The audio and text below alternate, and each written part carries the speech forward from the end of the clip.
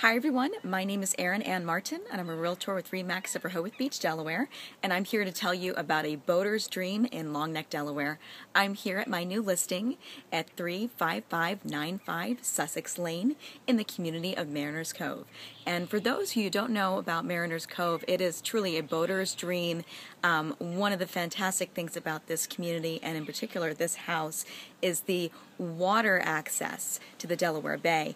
Um, from this property, you actually have your own boat dock directly in front of your house.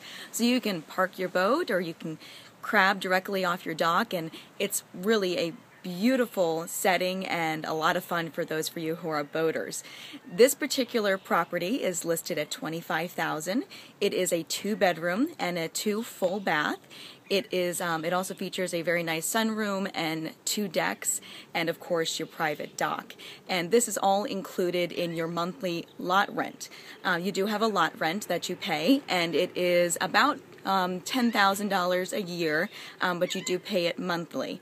And uh, this pro- property also has a community pool and community center.